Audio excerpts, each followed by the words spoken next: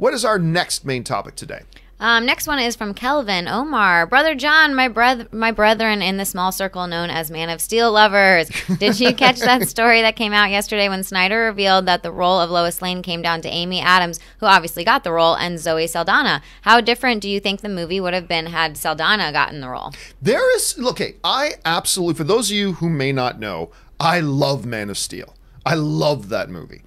Um, but there have been a number of things that have come out from that movie and some things that we've learned about from behind the scenes that are pretty questionable. Like, for example, we know that they were very much looking at maybe getting Bryan Cranston to play Lex Luthor, and then kind of last minute they went with uh, oh, what's what's the name of the kid who played it again? Who played Lex? Uh, I, Aaron Aaron Eisenberg. Uh, yeah, that's right. Um, Eisenberg played it. So I've always thought Jesse Eisenberg. Jesse Eisenberg. I always thought, well, these are two completely different actors. Did you not have a grip on what you wanted your character to be? Because these aren't two actors who were going to bring you the same Lex Luthor, clearly. Like, and I've always kind of wondered about that. Hearing about Zoe Saldana uh, being being this close to getting the role it's fascinating because I do think she would have brought a very different thing. But again, to me, Rob, it makes me scratch my head and go, okay, wait a minute. Did you know what movie you were making? I mean, at, at first you you it comes down to either Bryan Cranston or Jesse Eisenberg. These are two totally different performers. They're going to bring totally different Lex Luthors. Like your job as a director is to know your character and then get the actor that best fits that character. And Amy Adams and Zoe Saldana, they're both great, but they're very different performers. And, and I have a feeling that had Zoe Saldana played Lois, I think it would have been great. But I mean, Amy Adams is one of the world's greatest actresses, but I think Zoe Saldana would have been great, but a very different one. And again, I'm left to go, okay, damn, I love this movie, but did you know what you were doing? Did I mean, did you know what your movie was going to be? Did you have a firm grasp of your characters? Or were you just winging it? Because again, going from Cranston to Eisenberg, that's a winging it kind of move. Coming down to Amy Adams and a Zoe Saldana, two completely different types of performers. Did you have a grasp of who your character, of who your Lois Lane was? Anyway, I'm super thrilled with the way the movie turned out. It's a top 10 all time comic book movie for me. I adore it. And I love Amy Adams in the role. I will say this I think Amy Adams is a little bit of a better actress than Zoe Saldana.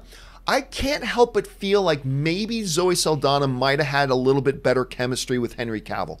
For whatever reason, if I had to pick out a thing in, in Man of Steel that maybe wasn't a 10 out of 10 for me, wasn't a top shelf thing, was I never really super, no pun intended, I never really super felt the uh, a chemistry between Amy Adams and Henry Cavill on screen. I just never felt on that level, and maybe Zoe Saldana would have brought that. Now, as it turns out, I love the way the movie turned out and all that kind of stuff, but I hear a story like this, Rob, and it makes me just scratch my head a little bit. Anyway, how do you think Zoe Saldana would have done as a Lois Lane? And is there anything else about, like a few things in this stand out to me? Does anything else stand out to you? Well, as far as I'm concerned, Zoe Saldana can pretty much do anything she yeah. wants. Yeah, I much. mean, look, even even though I think they uh, talk about be- people being done wrong, I think the character of Uhura was not done right, really, uh, throughout the Star I Trek loved franchise. her as Uhura in that. She was great as Uhura. She just wasn't given a lot to play uh, as the series went on. I loved her in the role. I love her in every role. I loved her in Avatar. I loved her in Guardians of the Galaxy. Mm. I think she would have made a great sassy Lois Lane. I think she would have knocked it out of the park. I agree. Um, and I I wonder what that movie could have been. I mean, Bryan Cranston. I I, I think you know there's often when you're making a film, uh, I tend to not think about actors when I'm say reading a script or something because I like to see what actors I want actors to surprise me personally. And I think that that when you're thinking about uh, Jesse Eisenberg or Bryan Cranston, you could in your mind have two totally different things that you could see would work.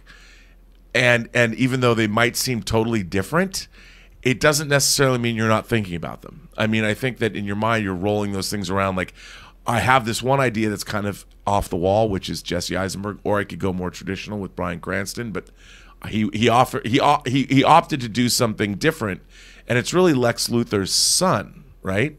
It's not kind of like what they did in in Smallville in the final film.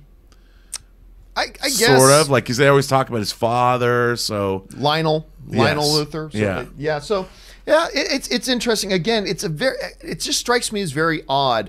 But yeah, ultimately, I agree with the question. It would have been a different movie. I, I mean, not entirely, but it would have. There would have been a different dynamic to the Lois, which means there would have been a different dynamic to the Superman and Lois relationship, which would have overall affected the movie. Would have been for the better, or for the worse? We'll never know. What do you guys think?